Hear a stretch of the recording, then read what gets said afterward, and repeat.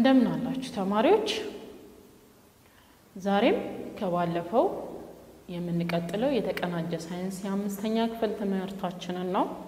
ልጆች በባለፈው class ኣችን እንደምናውቀው እንስሳትን ለመመልከት ሞክረን ነበረ።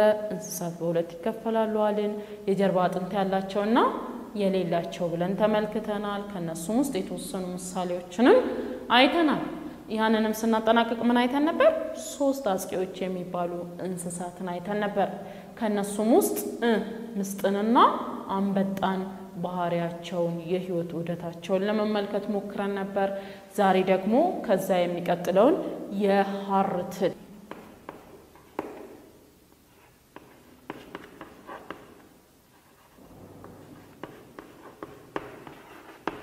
ልጆች የሐር ትል ሲባል ምንድን ነው ትዝ የሚላችሁ? እርግጠኛ ነኝ የሐር ክር ነው አይደል? ምክንያቱም በዓለማችን ላይ ውዱ ልብስ ወይም ደግሞ ውድ ሱፍ የሚሰራው ከምን ስለሆነ ከሐር ክር ስለሆነ ማለት ነው። ስለዚህ እነኚህ የሐር ትሎች ይህንን እንዴት ያመርቱታል፣ እንዴት እናገኘዋለን የሚለውን እንመለከታለን ማለት ነው። የሐር ትል ምንድን ነው? ሶስት አጥቂ እንስሳ ነው።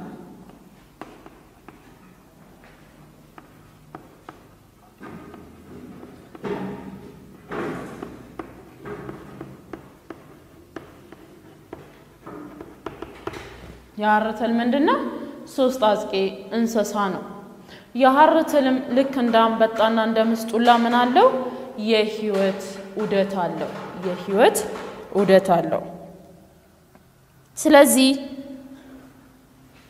የህይወት ዑደቱን በምንመለከትበት ሰዓት አንድ ሴቷ የሐር ትል በቀን በቀን ከሶስት መቶ እስከ አራት እንቁላሎችን ትጥላለች።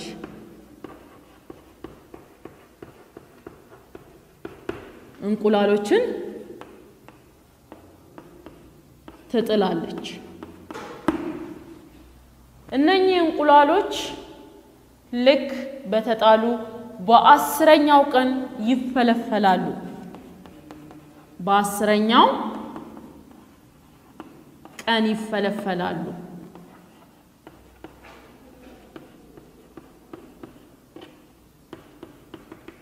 እነኚህ የተፈለፈሉትን እነኚህን የተፈለፈሉትን የሐር ትሎች ምን እንላቸዋለን?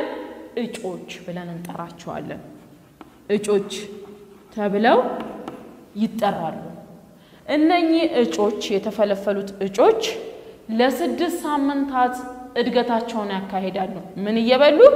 የጉሎ ዛፍ ቅጠል እየበሉ የጉሎ ዛፍ ቅጠል እየበሉ ለስድስት ሳምንታት እድገታቸውን ያካሂዳሉ ማለት ነው። የጉሎ ዛፍ ቅጠሎችን በመመገብ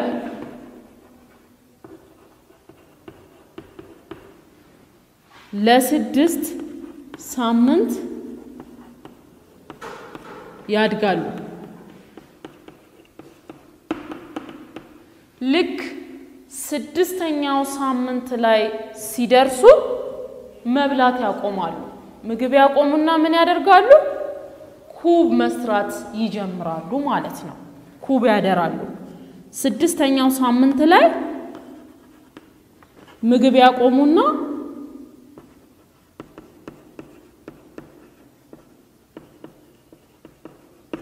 ምግብ ያቆሙና ምን ይሰራሉ ተባባልን? ኩብ ወይም ደግሞ በእንግሊዝኛው ኮኮን የምንለው ድር ያደራሉ ማለት ነው።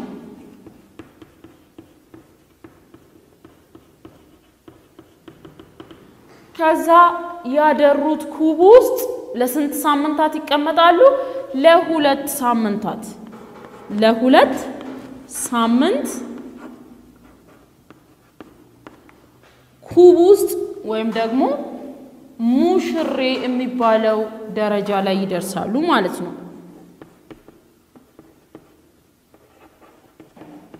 ኩብ ውስጥ ይቀመጣሉ ምግብ ያቆሙና ማለት ነው። እዚህ ደረጃ ላይ ምን የሚለውን ስያሜ ይወስዳሉ? ሙሽሬ ተብለው ይጠራሉ ማለት ነው። ሙሽሬ ተብለው ይጠራሉ። ልክ ሙሽሬነታቸው በሁለት ሳምንታቸው ሲጠናቀቅ ከዛ ኩብ ውስጥ ፈልቅቀው ይወጣሉ።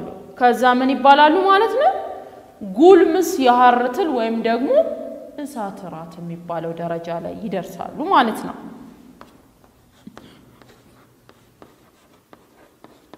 ጉልምስ የሐር ትል የሚባለው ደረጃ ላይ ይደርሳሉ። ልክ ሙሽሬነታቸውን በሁለት ሳምንት ውስጥ አጠናቀው ከኩብ ውስጥ በሚወጡበት ጊዜ ምን ይባላሉ? ጉልምስ የሐር ትል ይባላሉ። እሺ ልጆች እንዲህ የህይወት ውደታቸውን ከተመለከትን እኛ ውድ ብለን የምንለብሰውን አልባስ የሐር ክር የትኛው ክፍል ነው የሚያመርተው? ሙሽሬው ነው? ጉልምሱ ነው? ወይስ እጮቹ ናቸው የሚለውን እንመለከታለን። የሐር ክር የሚመረተው ልጆች በእጮቹ ነው፣ በህፃናቱ ነው ማለት ነው። የሐር ክር የሚያመርቱት ወይም የሚሰሩት እጮቹ ናቸው።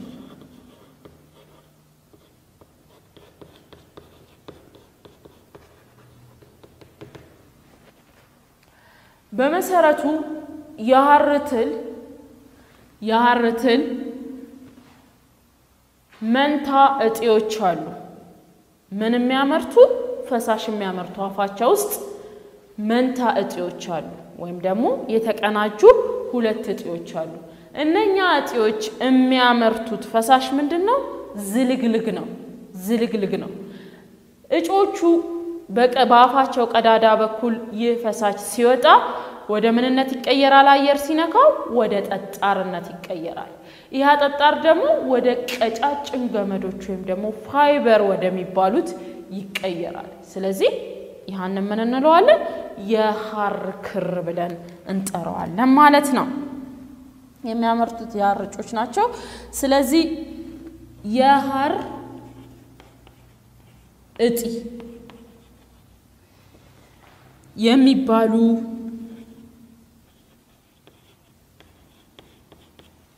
ጥንድ የምራቅ አመንጮች አሉ።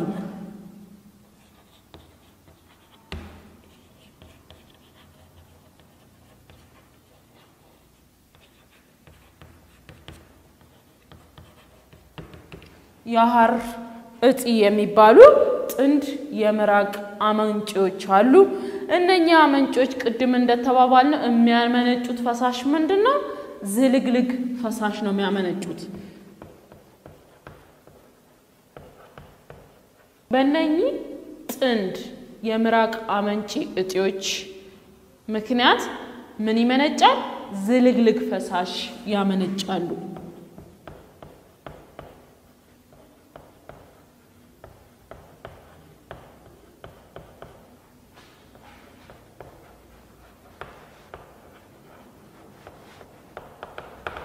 ይህ ዝልግልግ ፈሳሽ እነሱ በዋናነት የሚያመርቱት ለምንድን ነው?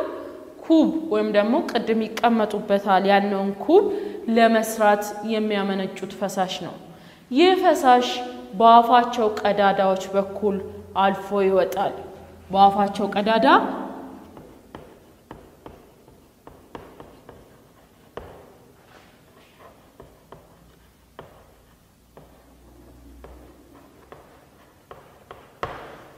ልክ ይህ ዝልግልግ ፈሳሽ በአፋቸው ቀዳዳዎች ሲወጣ ቀጥሎ ምን ያገኘዋል? አየር ያገኘዋል። አየር ልክ በአየር ሲመታ ወደ ምን ይቀየራል? ጠጣር ይሆናል ማለት ነው።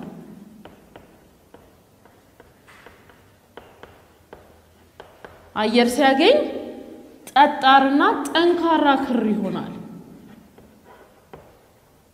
ጠጣርና ጠንካራ ቃጫ ወይንም ደግሞ ምን ይሆናል? ፋይበር የምንለው ይፈጠራል ማለት ነው። ስለዚህ እያንዳንዱ የሐር ቃጫ እርዝመቱ ከስንት እስከ ስንት ነው? እያንዳንዱ ከአንድ እጭ የሚወጣው ይህ ጠንካራ ቃጫ ከሶስት መቶ እስከ ዘጠኝ መቶ ሜትር ርዝማኔ ያለው ማለት ነው።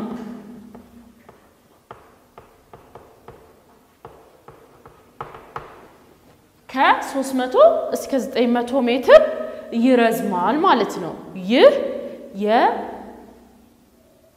የሐር ትል ክር የምንለው ማለት ነው። የሐር ክር የምንለው ወይም ደግሞ ጠንካራው ቃጫ በሚለካበት ጊዜ ከ300 እስከ 900 ሜትር እርዝማኔ ይኖረዋል ማለት ነው። ልጆች ስለ ሐር ትል ግልጽ ነው? ገብቷችኋል? በጣም ጥሩ። አሁን ደግሞ ቀጣይ ስለምን እንመለከታለን? አሳዎች። አሳዎች ምን አይነት ባህሪ ያላቸው፣ የት ነው የሚኖሩት፣ እንዴት ነው የሚራቡት የሚለውን እንመለከታለን።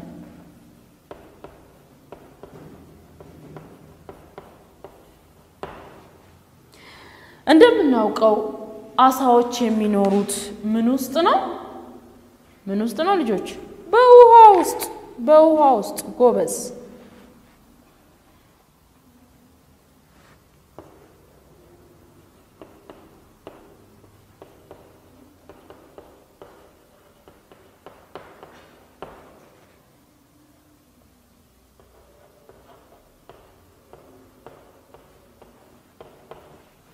ባለ አከርካሪ እንስሳ ነው። አሳ አከርካሪ አለው።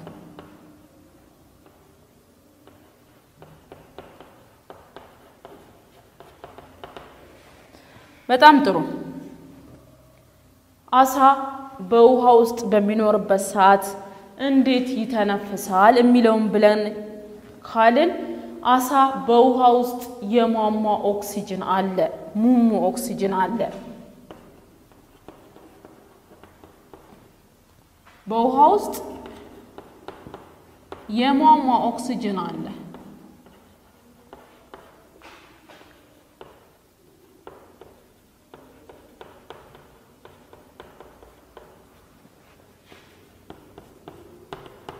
ይህንን ውሃ በስንጥባቸው በአፋቸው በኩል ያስገቡታል። በአፋቸው በኩል ያስገቡና ከዛ ስንጥባቸው ውስጥ የደም መዘዋወሪያ አለ፣ የውሃ መዘዋወሪያ ቦታ አለ ማለት ነው።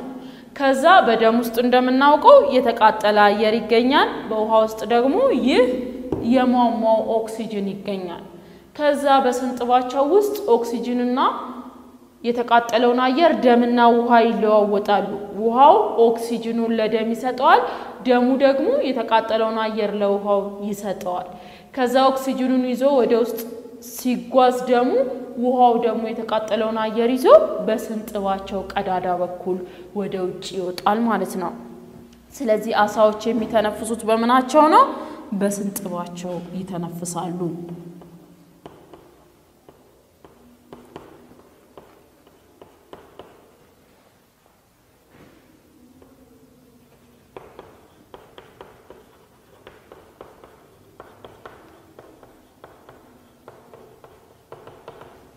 አሳዎች በምናቸው ይተነፍሳሉ?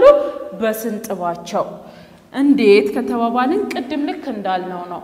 አሳዎች ይህንን የሟሟ ኦክሲጅን የያዘውን ውሃ በአፋቸው በኩል ወደ ውስጣቸው ያስገቡታል። ይህ ውሃ ወደ ስንጥባቸው አቅጣጫ ይሄዳል።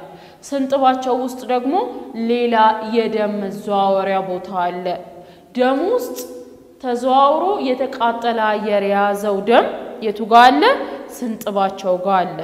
ከዛ ይሄ ውሃ ደግሞ ንጹህ አየር ወይም ኦክሲጅንን ይዞ ወደ ስንጥባቸው ይሄዳል። ከዛ ደምና ውሃ የያዙትን አየር ይቀያየራሉ። ደም የውሃን ኦክሲጅን ይወስዳል፣ ውሃ ደግሞ የደምን የተቃጠለ አየር ይወስዳል። ከዛ በስንጥቡ ቀዳዳ በኩል ውሃ የተቃጠለውን አየር ይዞ ይወጣል ማለት ነው። በዚህ መልኩ ምን ያደርጋሉ?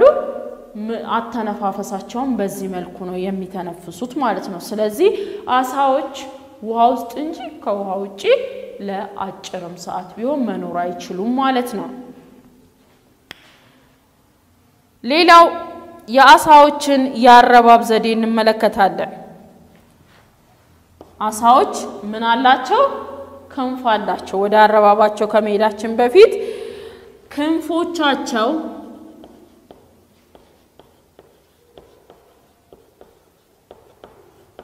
ዓሣዎች ለምን ለምን ይጠቅማሉ? አንድ ውሃ አስኳላ ልጆን በቤቶ የሚያስተምሩበት አማራጭ ፊልም። አዳዲስ ፊልሞቻችን እንዲደርሱ subscribe በማድረግ የቻናላችን ቤተሰብ ይሁኑ። ፊልሞቹን share በማድረግ ለወዳጅ ዘመዶ ያጋሩ። አስኳላ አማራጭ የማስተማሪያ ዘዴ